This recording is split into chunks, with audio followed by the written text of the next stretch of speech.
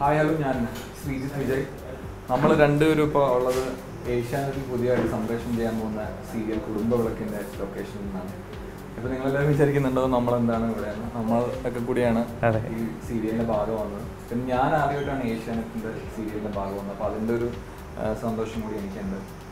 പിന്നെ എന്റെ കഥാപാത്രത്തിനെ കുറിച്ച് പറയുകയാണെങ്കിൽ എന്റെ കഥാപാത്രത്തിന്റെ പേര് അനിരുദ്ധ് എന്നാണ്. ഒരു എം ബി ബി എസിന് പഠിച്ചുകൊണ്ടിരിക്കുന്ന ഒരു സ്റ്റുഡന്റ് ആയിട്ടാണ് ഞാനിതിൽ കഥാപാത്രത്തിനെ അവതരിപ്പിക്കുന്നത് ഹായ് ഞാൻ നൂബിൻ ജോണി.